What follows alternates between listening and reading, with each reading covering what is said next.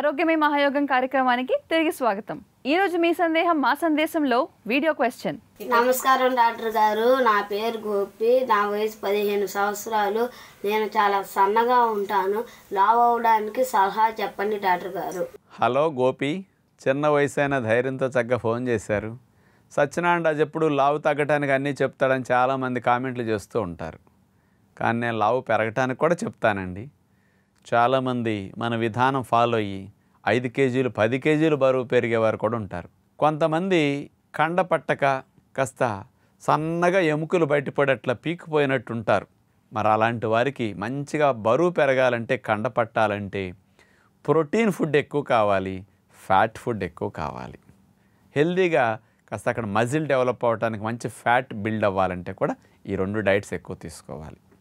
మామూలుగా ఇలాంటి మార్పు రావాలి అంటే ఫస్ట్ ఆకలి అవ్వాలి.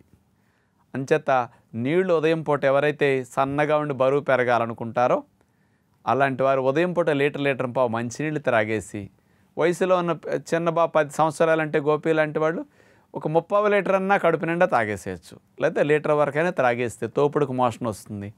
ఒక గంట గడిచాక గంటన్నర గడిచాక మళ్ళా రెండోసారి నీళ్ళు తాగి రెండోసారి మోషన్కి వెళితే టూ టైమ్స్ మోషన్ వెళ్తే ప్రేగుల్లో మలమంతా ఖాళీ అయి మంచి ఆకలి పడుతుంది. మెయిన్గా కాస్త కండ పట్టడానికి వేరుశనగ పప్పులు భలే పనికొస్తాయి. నానపెట్టిన వేరుశనగ పప్పులు ఒక రెండు గుప్పెళ్ళు. High protein high fat diet. Fifty percent fat ఉంటుంది ట్వంటీ ఫైవ్ పర్సెంట్ ప్రోటీన్ ఉంటుంది. కొబ్బరిలో కూడా అంతే ఫిఫ్టీ పర్సెంట్ ఫ్యాట్ ఉంటుంది.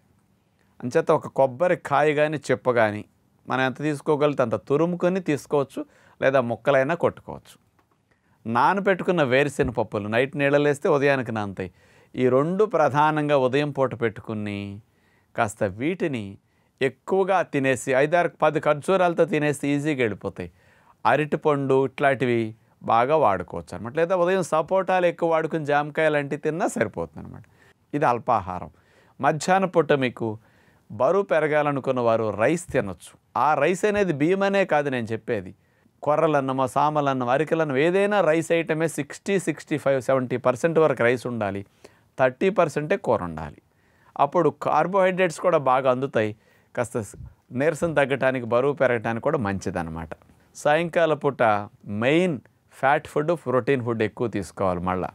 పుచ్చగింజల పప్పు చవకగా లభిస్తుంటాయి మార్కెట్లో. అలాంటివి పొద్దుతిరుగుడు పప్పు గుమ్మడి గింజలు కాస్త వీటితో పాటు మీకు ఇంకేదన్నా అనుకూలంగా ఉండే డ్రై నట్స్ ఏమన్నా మీరు కొనుక్కోగలిగేవి.